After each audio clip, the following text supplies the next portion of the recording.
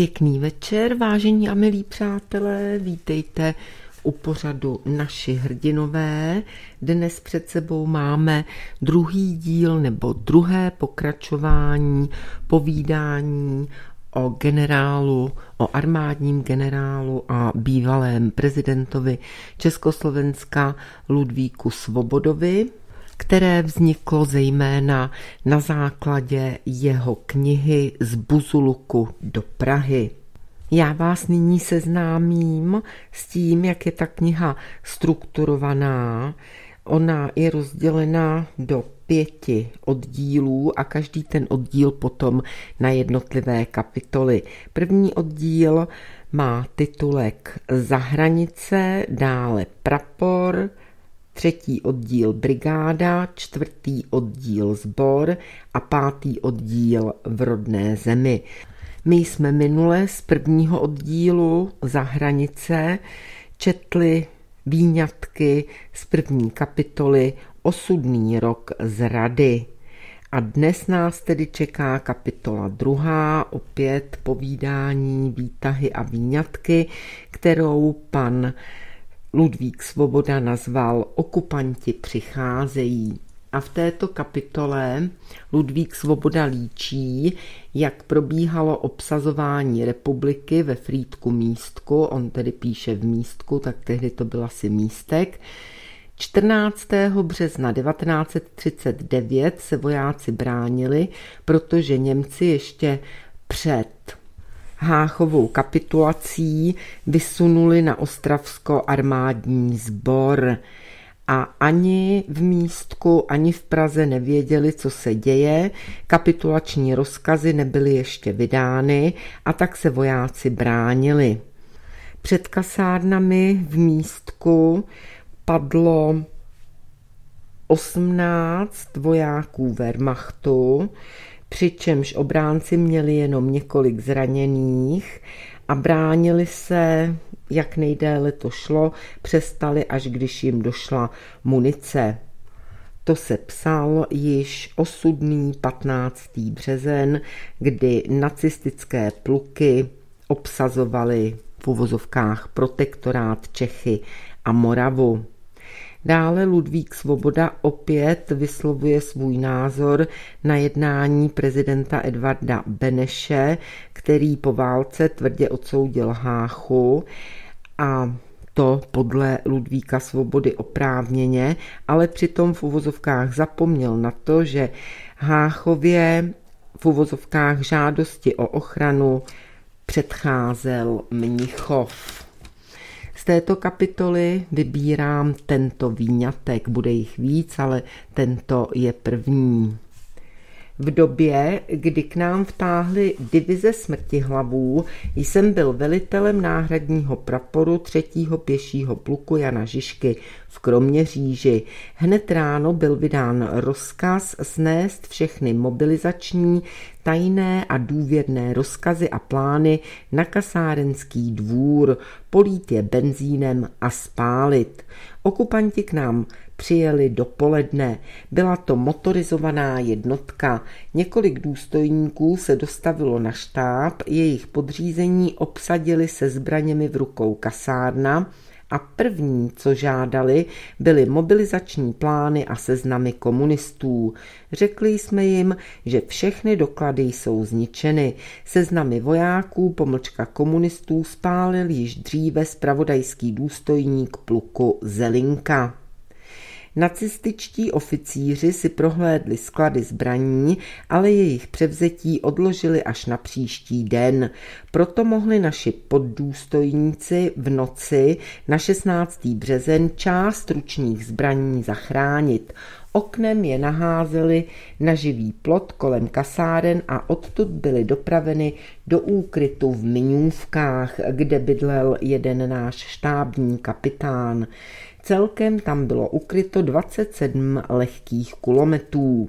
Další zbraně pro budoucí ilegální skupinu jsme získali opravdu zajímavým způsobem. V těch dnech Němci odváželi československé zbraně v nákladních vagónech do Německa. Řadoví němečtí vojáci nám je odprodávali. Za lehký kulomet jsme platili 300 korun, za těžký kulomet nejvýše 500 korun. Němci si za v uvozovkách vydělané peníze kupovali jídlo, cigarety, obuv, šaty. Demobilizace našeho pluku byla provedena v několika dnech. Byl to smutný pohled. Jak nám bylo trapně, když jsme všechen ten majetek museli vydat nepříteli bez boje. A už začalo řádit gestapo. První byli zatýkáni komunisté. V takzvané akci Gitter mříže jich bylo zatčeno několik tisíc.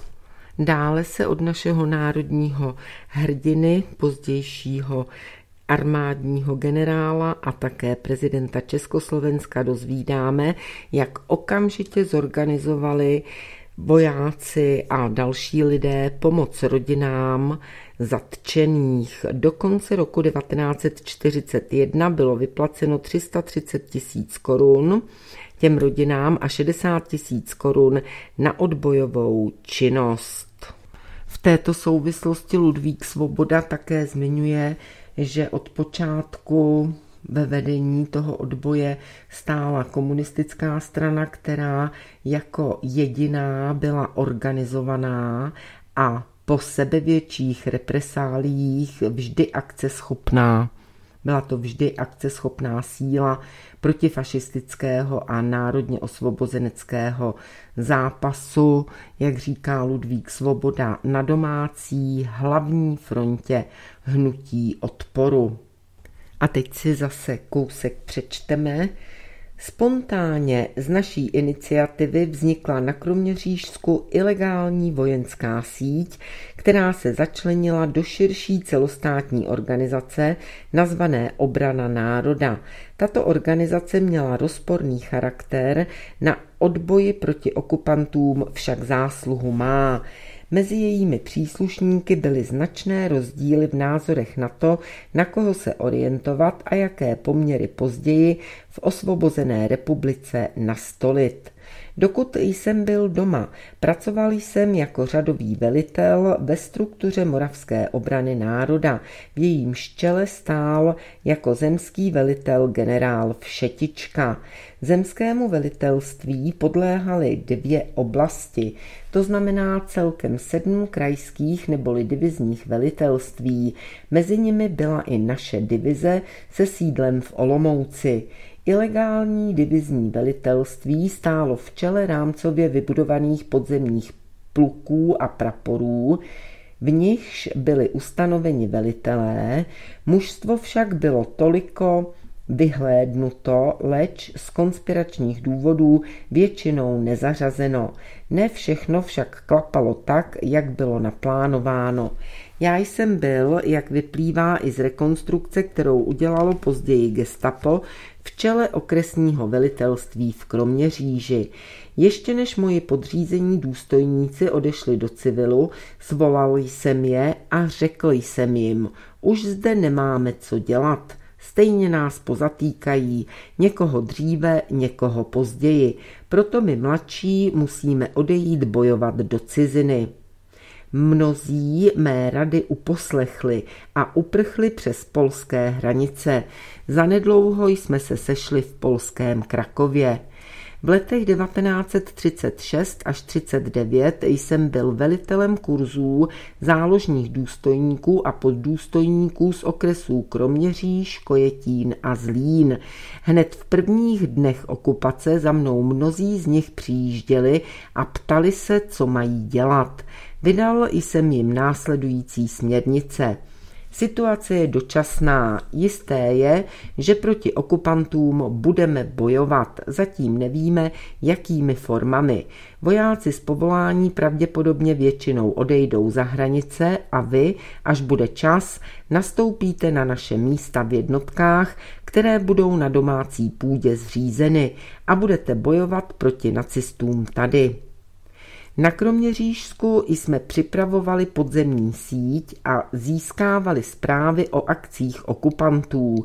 Tyto informace byly pak odesílány do zahraničí.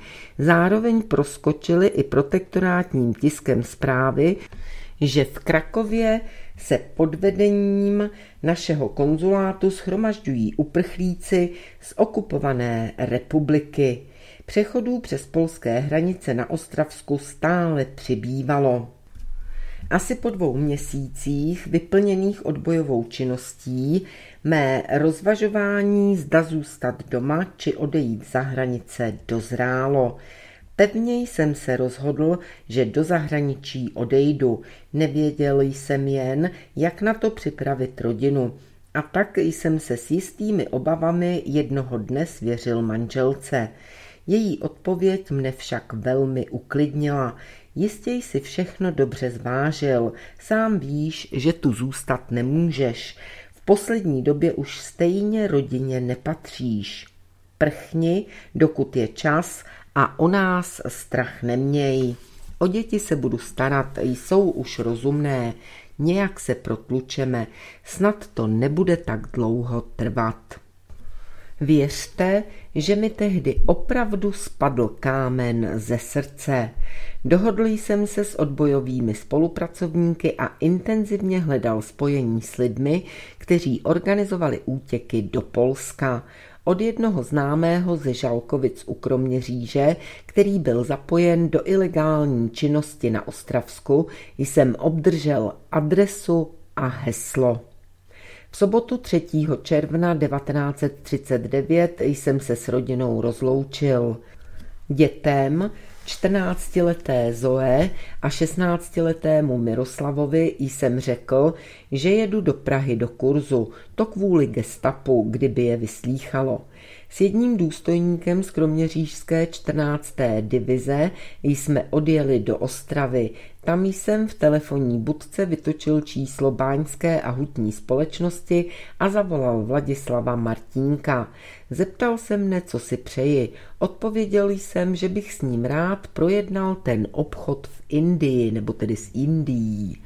To bylo smluvené heslo. Vyzval mě, abych ho navštívil. Na chodbě budovy Báňské a Hutní na nás čekal neznámý člověk, který nás hned odvedl k Martínkovi do kanceláře pana Peningra.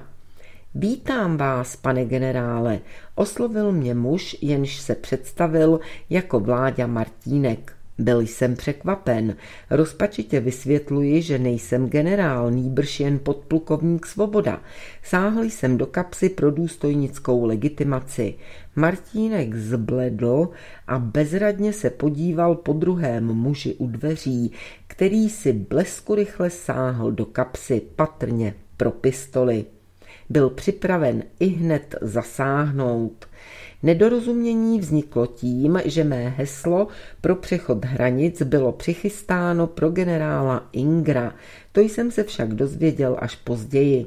Oba muži v kanceláři, Vladislav Martínek a Rudolf Kučera, dostali totiž v těch dnech hlášení, že se gestapo snaží jejich síť odhalit.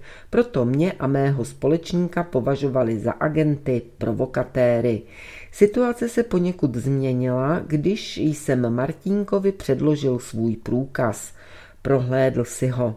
Potom zvedl telefon, volal na sekretariát Sokolské župy Jana Čapka a komu si řekl, že přijel tchán se strýčkem. Na to nás vyzval, abychom se odebrali do kavárny Evropa. V kavárně jsme si sedli ke stolku a objednali kávu.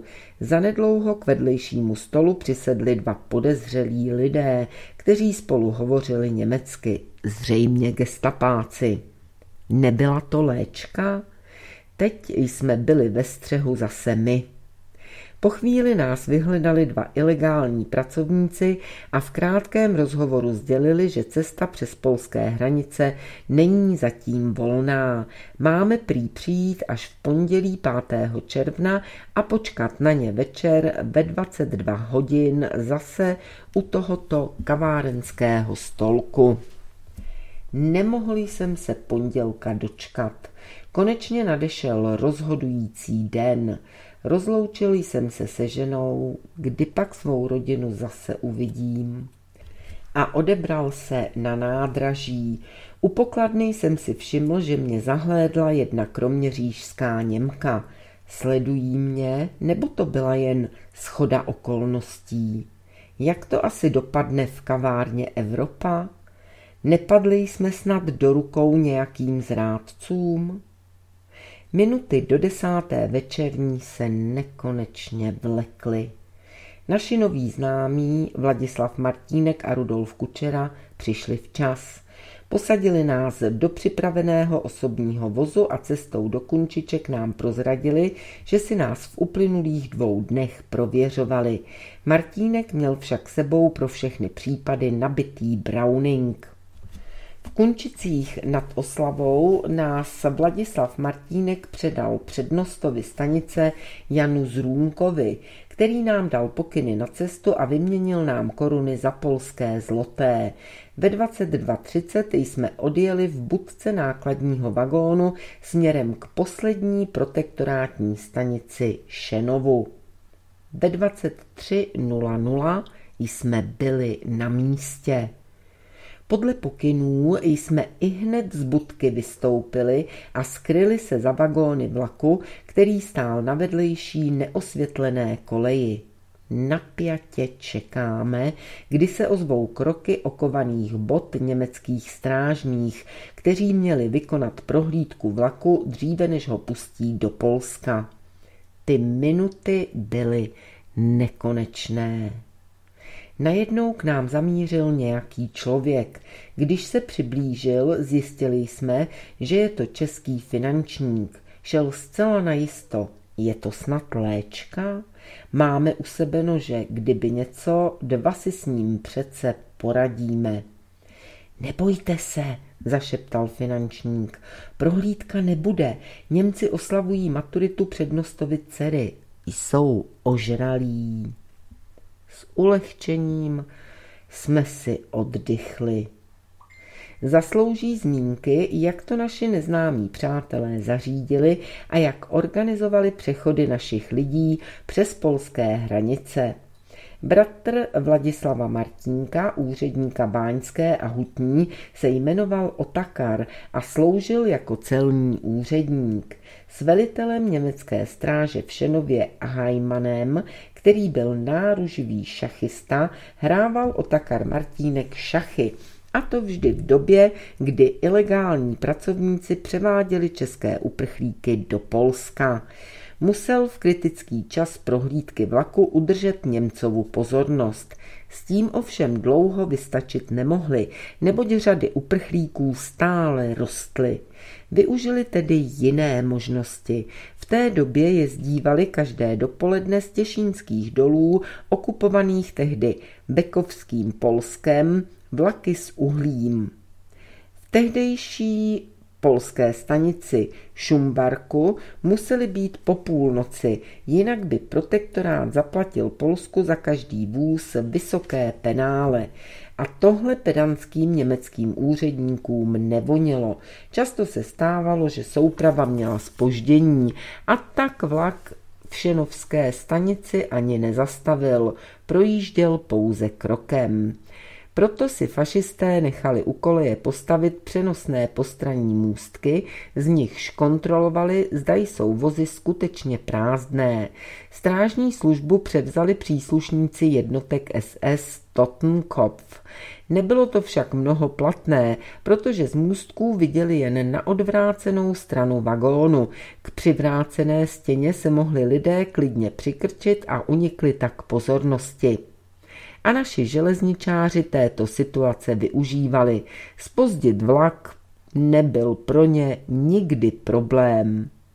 My jsme ušli kontrole díky schodě okolností. Teprve po válce jsem se dozvěděl, jak k tomu došlo. Železničáři připravovali přechod pro generála Ingra. Tu se však dověděli, že místo něho pojede nějaký podplukovník Svoboda. Proto se bratři Martínkové připravili sami na útěk do ciziny pro případ, že by to se mnou nějak nesouhlasilo. Když si mě prověřili, trochu se uklidnili, ale pro jistotu učinili ještě zvláštní opatření. Otakaru Martínkovi se v těch dnech narodila dcerka a nejstarší dcera přednosti šenovské stanice Freeborta složila maturitu. A tak celník Martínek a přednosta Freebord inscenovali jakousi oslavu, na níž hned odpoledne přizvali fašistické strážné ze stanice Šenova. Oslavy se protáhly až do půlnoci a proto náš vlak německé orgány nekontrolovaly. 5. června 1939 ve 23.30 jsme naskočili do rozjíždějícího se vlaku a v Brzdařově Budce jsme přejeli hranici.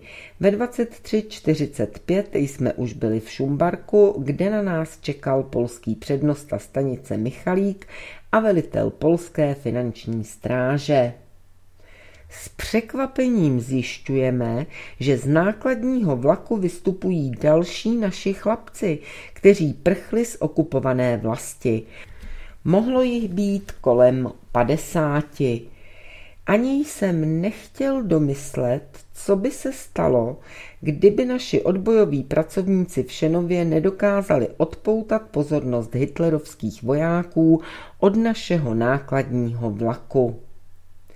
Díky našim statečným železničářům se touto cestou dostalo do Polska nejvíce našich lidí. Jen do vojenské jednotky v Krakově jich přišlo na tři tisíce.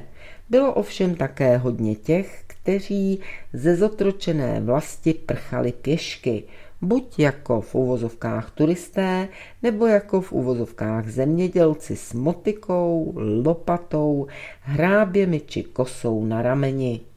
Tak se to podařilo například i Otakaru Jarošovi. A my teď, vážení přátelé, všem našim statečným železničářům zahrajeme písničku a samozřejmě i všem ostatním lidem, kteří hrdině bojovali v odboji, kteří jakkoliv pomáhali ostatním a vzájemně mezi sebou spolupracovali.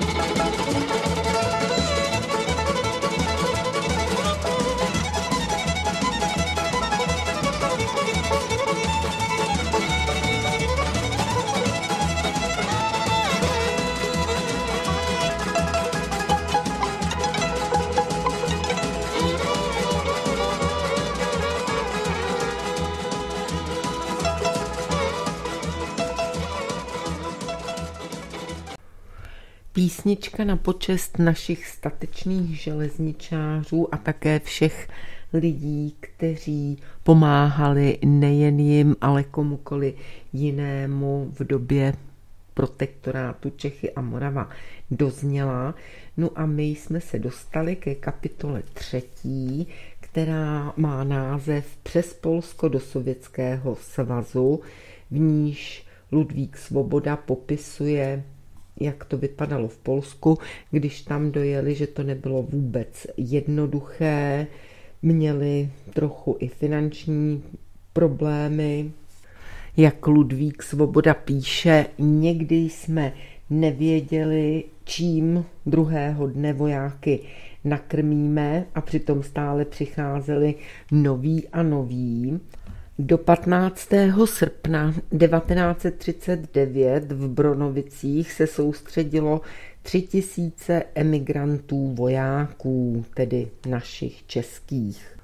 Představitelé takzvaného zahraničního odboje na západě, píše Ludvík Svoboda, kteří sídlili v té době zejména v Paříži, kde měl hlavní slovo československý vyslanec Osuský, usilovali o to, aby všichni bojeschopní muži byli odesláni na západ, buď lodí přes Gdyni, nebo později přes Rumunsko, Chtěli zabránit tomu, aby v Polsku zůstala nějaká větší jednotka, protože se obávali, že by mohla přejít do Sovětského svazu.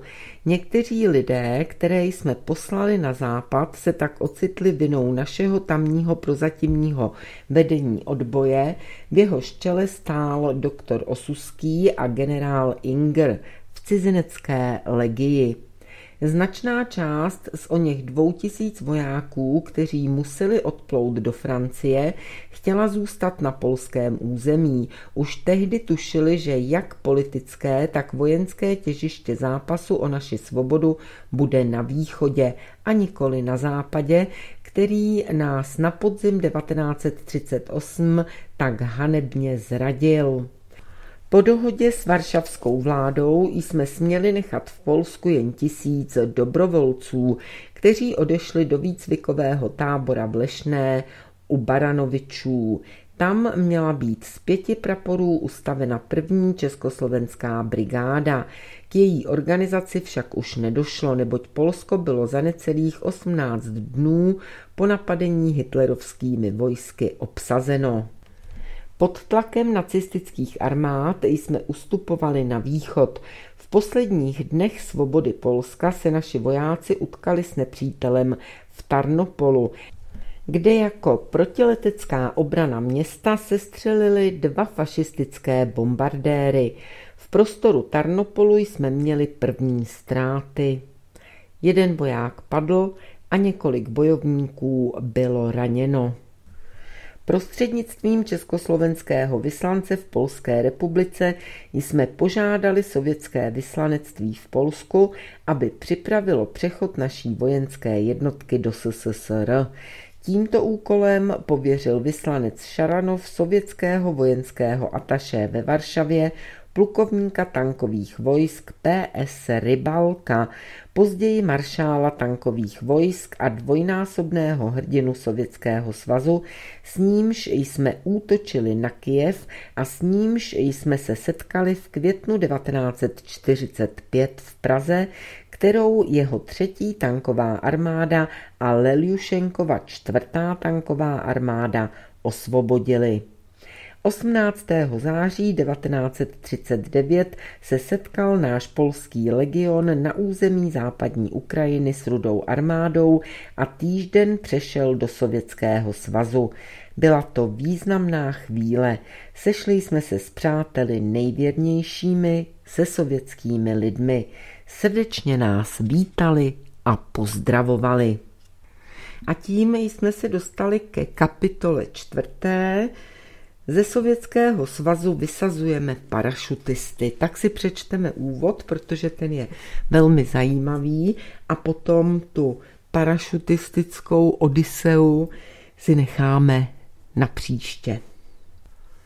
První dny pobytu v Sovětském svazu jsme byli ubytováni v kasárnách sovětských pohraničníků ve Verchovicích u Husiatinu. Odkud jsme se přesunuli do Kamence Podolského. Dalšími místy našeho pobytu u sovětských přátel byly Oranky a Suzdal. Suzdal asi 200 kilometrů severovýchodně od Moskvy. Většina necelého tisíce našich vojáků si přála zůstat na území SSSR a připravovat se tam na bojové střetnutí s nenáviděným nepřítelem. Naše londýnská emigrační vláda se však všemožně snažila československou vojenskou skupinu v SSSR likvidovat, ačkoliv jí sovětská vláda dala jasně najevo, aby celá naše vojenská skupina zůstala na území SSSR.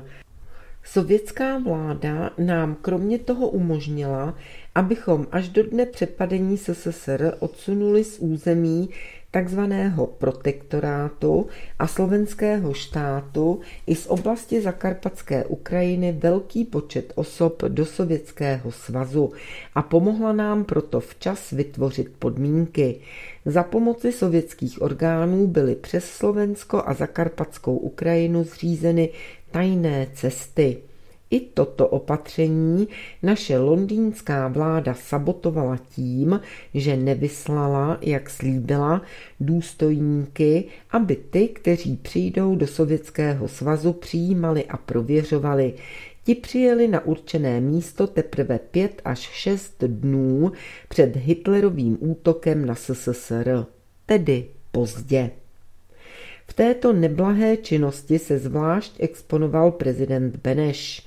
V jedné své depeši sovětské vládě napsal o československých vojácích v SSSR. U vás jsou nevyužiti, my je potřebujeme pro boj na jiném místě. A tak hlavně doktor Beneš způsobil, že převážná většina naší vojenské skupiny v SSSR byla postupně odtransportována z části do Francie a z větší části na střední východ. V roce 1940 to byly čtyři transporty, celkem asi 160 osob.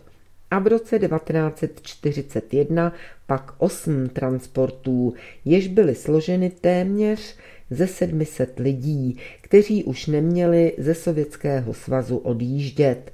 Benešovi, jak říká ve svých pamětech, bylo v té době jasné, že den přepadení SSSR je blízko a přesto odtransportování našich budoucích vojáků důrazně požadoval.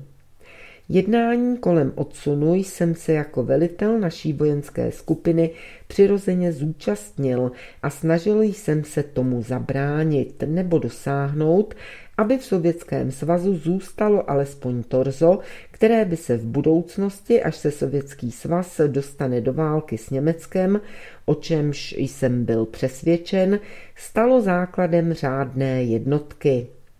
To mi dalo možnost stát se na rozhraní roku 1940 a 41 prostředníkem diplomatické záležitosti, která tvoří zajímavou a ne nedůležitou epizodu ve vývoji československo-sovětských vztahů za druhé světové války. Po porážce Francie se v okupované republice začala zvedat nová vlna sympatií pro SSSR, v němž se spatřovala jediná mocnost schopná zlomit Hitlerovi vás. I odboj orientovaný na doktora Beneše takzvané ústřední vedení odboje domácího úvod, jež pracovalo v letech 1940 až 41, se této nové orientaci z části přizpůsobovalo a hledalo kontakty se sovětským konzulátem v Praze. Iniciativu v tom měli zejména vedoucí činitelé obrany národa. Ta byla sice na přelomu let 1939 až 40 gestapem rozbita. Brzy poté ji však z části obnovila nová garnitura v čele s generálem Homolou, plukovníkem Churavým a podplukovníkem Balabánem, kteří se aktivně podíleli na vytvoření a práci zmíněného již úvodu. Červenci 1940 navázal podplukovník Balabán svědomím úvodu kontakty se sovětským konzulátem v Praze. Ještě před souhlasem prezidenta Beneše byly tyto kontakty dále rozvíjeny a vedle spravodajského charakteru začaly nabývat i charakter politický. Postupně se objevila nutnost přenést tyto kontakty na bezpečnější půdu, než byla gestapem ovládaná Praha. Vždy šlo o otázku sovětského příslibu opětné obnovy ČSR, o přípravu koordinovaných akcí československého domácího i zahraničního odboje pro případ německého útoku na SSSR, o dodávání zpráv, jež by předešly nebezpečí překvapivého napadení. Za místo jednání byl vybrán Istanbul, kde tehdy působil jako československý vojenský přidělenec plukovník Heliodor Píka, který měl důvěru obou stran a měl i patřičnou plnou moc a diplomatickou kvalifikaci. Byl jsem požádán o zprostředkování. Píku jsem znal a tak se mi podařilo uvést k němu delegaci sovětského generálního štábu v čele s generálem Fokinem.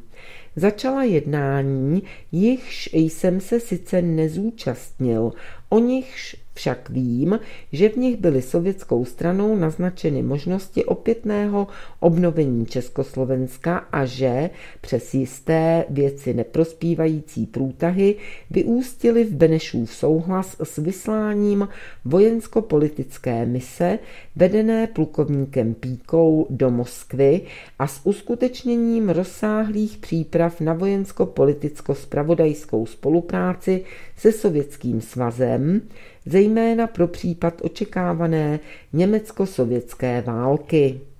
Píkova mise přijela do Moskvy koncem dubna 1941, přirozeně že tajně, a začala jednat se sovětským generálním štábem. Byly zřízeny tajné cesty z protektorátu přes Slovensko a zakarpatskou Ukrajinu do SSSR. Jednalo se o přípravě parašutistů, o sabotážích nebo o přípravě sabotáží probíhala výměna zpráv. V situaci, kdy Němci dokončovali přípravy k útoku na SSSR, velice záleželo na čase, na tempu. Bohužel Naši důstojníci byli vysláni z Istanbulu poměrně pozdě. Například ti, kteří měli zajišťovat v uvozovkách provoz na ilegální cestě z domova, se dostali na určené místo teprve pět až šest dnů před německým útokem na sovětský svaz. Přesto však měla tato epizoda, pokud vím, tehdejších vztazích západní koalice k Sovětskému svazu ojedinělá svůj význam. Připravila cestu ke vzájemné důvěře, k podpisu spojenecké československo-sovětské dohody, k vytvoření československé vojenské jednotky v SSSR a též k vysazení československých parašutistů ze Sovětského svazu do českých zemí i na Slovensko. V den napadení Sovětského svazu 22. června 1941 nás zůstalo z celého polského legionu na sovětském území pouze 93. 18. července 1941 byla mezi naší emigrační vládou v Londýně a Sovětským svazem uzavřena spojenecká smlouva, podle níž se mohla naše vojska, naše vojenská jednotka v SSSR oficiálně organizovat. V říjnu jsme se znovu přemístili do Oranek a tam výcvik pokračoval.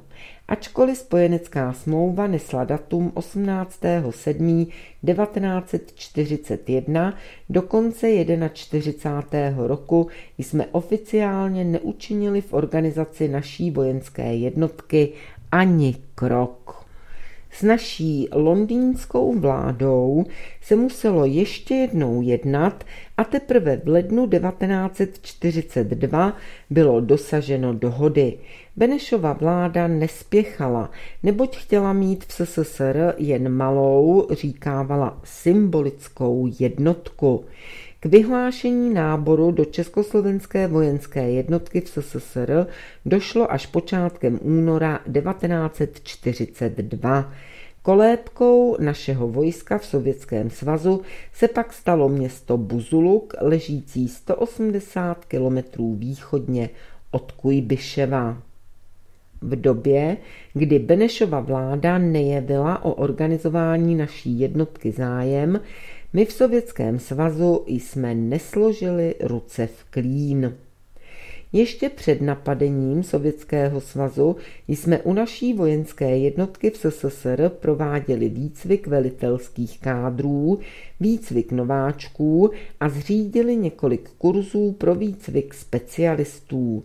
Poblíž Moskvy se školili naši parašutisté, kteří byli v několika skupinách vysazeni nad územím Moravy a Slovenska, a to velmi krátce po napadení SSSR Hitlerem. O jejich činnosti se dosud málo psalo a protože je velmi zajímavá a poučná, zmíním se alespoň o jedné z nich. O čtyřčlené skupině, která byla vysazena na Kroměřížsku. Podrobnosti čerpám z vyprávění svých příbuzných a známých, ze vzpomínek účastníků domácího odboje, kteří okupaci přežili a konečně z archivů brněnského a ostravského gestapa a z výsledků gestapáckého úředníka Karla Biedermerta, jenž tuto skupinu parašutistů pomáhal likvidovat a byl po osvobození zatčen a spravedlivě potrestán. Velitelem skupiny byl nadporučík Bohuslav Němec. Jeho zástupcem četař František Ryš a dalšími členy byli četař František Brauner a svobodník Jan Kasík. Když jsem se s nimi v červenci 1941 v Moskvě v hotelu Metropol loučil, připomněl jsem jim, jak důležitý úkol budou plnit a kladl jim na srdce, aby po seskoku zmizeli v lesích, nějaký čas žili jako Robinsoni a teprve pak, až budou vybaveni řádnými doklady, dobře umístěni, až naváží bezpečné spojení a zorganizují práci, teprve pak, aby začali, a to velmi obezřetně, plnit své úkoly. V kurzu byli na úkoly dobře připraveni a hlavně jim bylo zdůrazňováno, kdyby padli do rukou gestapa, ať raději volí smrt, než aby někoho ze svých spolupracovníků nebo své úkoly prozradili. Bohužel ne všichni uposlechli. Desítky vlastenců, kteří jim pomáhali, byly dopraveny do hitlerovských koncentračních táborů a 91 odbojářů zahynulo. Tak vážení a milí přátelé a zde naše dnešní vyprávění a čtení z knihy Z Buzuluku do Prahy od generála Ludvíka Svobody ukončíme. A příště nás čeká samozřejmě příběh parašutistické skupiny, která byla vysazena na území naší vlasti ze Sovětského svazu na Kroměřížsku. No a dopředu vám mohu ještě prozradit, že příběh těchto parašutistů velmi úzce souvisí i s příběhem rodiny Ludvíka Svobody a nejen to. Je to příběh mnoha desítek, možná dokonce stovek českých a moravských a sleských vlastenců, z nichž Někteří zaplatili za svou službu druhým, za svou službu vlasti, za boj proti okupantům i tím nejcennějším životem a mezi nimi byl právě i syn armádního generála Ludvíka Svobody. Já vám nyní již děkuji za pozornost a přeji krásný večer.